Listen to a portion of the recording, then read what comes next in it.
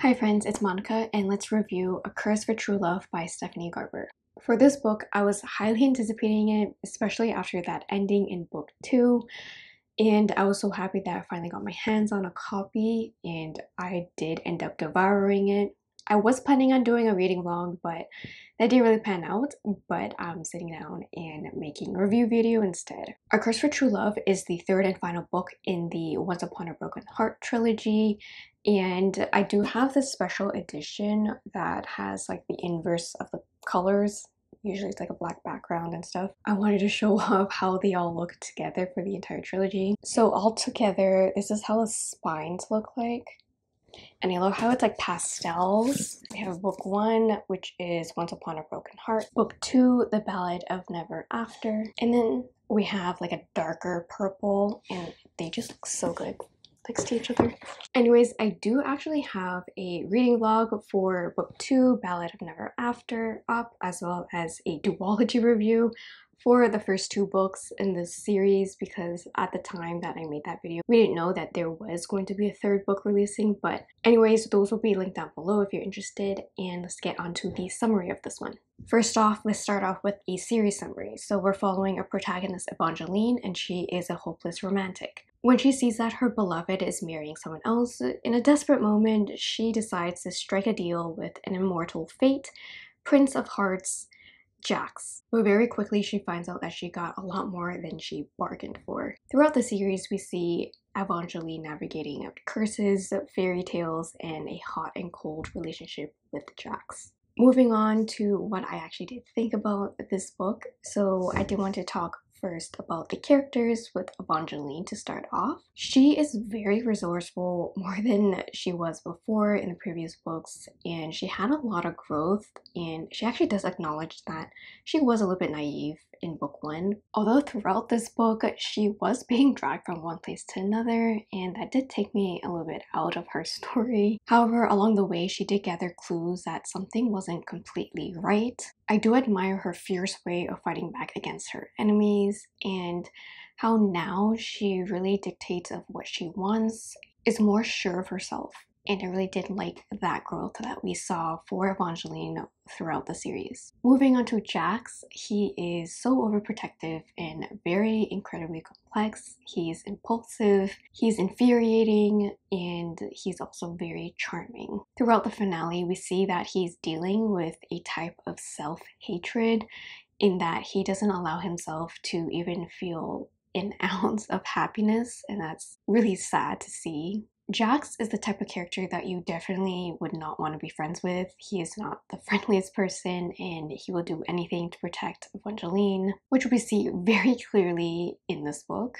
I describe Jacks as the type of love interest that will burn the world down for you no matter what and yeah, I'm gonna leave it at that. He is a little bit unhinged and he can be seen as a villain in other people's eyes. It is a really nice dynamic between Evangeline and Jacks. And with that, I wanted to talk about their romance. Their romance was a little bit different from book two in in book two, we have such a nice fantasy romance going on with a lot of banter, a lot of scenes with the main couple. With the finale book, we do still have those scenes in there. Although there isn't any graphically sexual scenes in this book, there are still suggestive scenes because I think Stephanie Garber is keeping this series very YA I love Jacks and Evangeline's dynamic with each other. It's very hot and cold. You don't know what's going to happen next. And throughout each book, you can see the progression of their feelings for each other. And this finale really did hone in on that. I do want to see more of these two together because in some parts of the book they are not together for a long periods of time, but I am happy with what we did get. Moving on to what I really did not like about this book were the different points of views. We have points of views from three characters, Evangeline, Jacks, and Apollo. I understand why we had more perspectives, but I think without having Apollo as a POV, there we wouldn't have lost anything. I think it was mainly to answer some questions and to tie up loose threads, which is understandable in a last book in a series. With Apollo's point of view, he is the villain and he's not really fun to read about. And he is just an awful person. He needs help. I was a lot more happy to read from Jack's point of view and to see how he is going about his wicked ways. Another thing that I did not like about this book was the memory loss trope.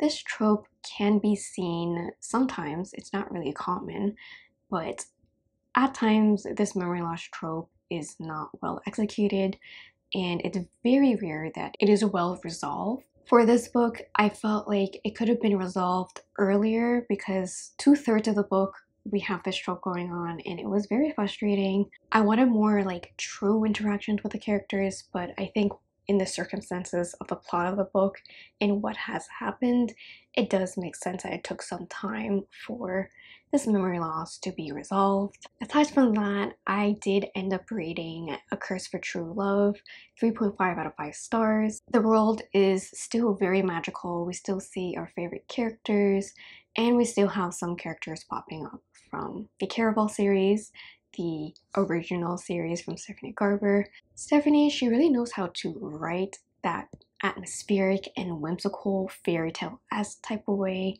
and you really do get into that with this entire series. However, in this installment, it did fall flat in some parts because I found that Evangeline would be unknowingly and like unconsciously doing some actions or saying something out loud.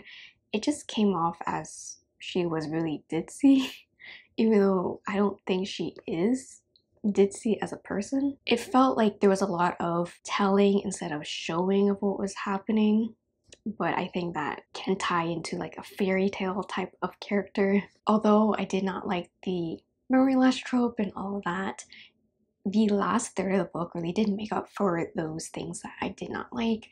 There was so much action, there was so much romance, and we have a really wonderful resolution for our characters that we want to see win. Evangeline and Jacks, they went through so much heartbreak respectively, and I'm really happy that they are able to get what is owed to them, which is a happy ending. And I really want to see more of this couple, and who knows what next book that Stephanie Garber is writing. And I'm going to look forward to whatever project she is going to come out with.